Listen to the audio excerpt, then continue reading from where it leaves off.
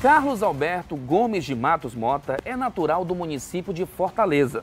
Chegou a Maracanaú em 1971, o mesmo ano de seu nascimento. O parlamentar iniciou sua carreira política em 1996, quando foi candidato a vereador de Maracanaú pelo extinto PT do B, mas não logrou êxito. Como primeiro suplente, assume uma vaga na bancada da Câmara Municipal no ano de 2000. Reeleito nos mandatos de 2004 e 2008, Carlos Alberto sonhava em presidir a Casa Legislativa e o sonho virou realidade em 2013, após ser reeleito com 3.346 votos. O vereador alcançou a primeira posição entre os mais votados nas eleições de 2012 e o credenciando para o posto de presidente da Câmara.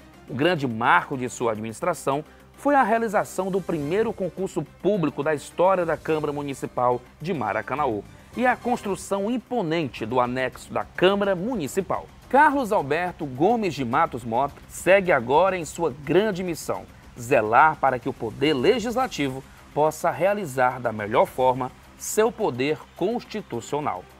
Queria aqui parabenizar a TV Maracanã por esse grande evento que já vem sendo feito ano a ano e cada ano que passa com mais sucesso, né? Que vem sendo realizado. Escolhemos os destaques de Maracanã. E aqui agradecer a todos os internautas que votaram em nosso nome, onde fomos escolhidos como destaque político 2018. Queria aqui é, compartilhar este prêmio com todos os funcionários da Câmara Municipal de Maracanã, com todos os meus amigos vereadores, que através deles, através dos funcionários também, que a gente conseguiu, com esse trabalho, ser escolhido Destaque Político 2018.